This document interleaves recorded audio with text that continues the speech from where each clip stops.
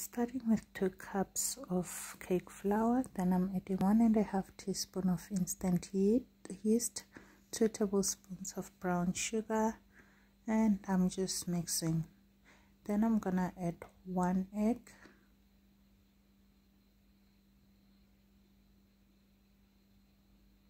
After adding the egg i'm just gonna mix it with the rest of the flour just making sure everything is very well mixed. Now I'm putting 50 grams of butter. The butter should be softened. Mine was not as soft as it should be. Then I'm adding 150 milliliters of milk. That's warm milk by the way not cold. Just kneading everything with my hand and I'm kneading the dough until it's smooth and then I'm just gonna proof it for 45 minutes in an oiled container.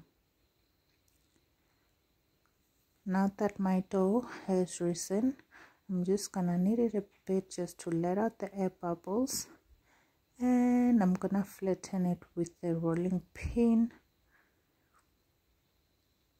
After flattening I'm just gonna cut it up a bit just to make sure my rolls are nice and good. I'm putting cheese into two of them so that's what I'm doing. And I'm just rolling it up and pinching the ends to make sure everything is well closed. And I'm baking this um, in the oven at 180 degrees Celsius.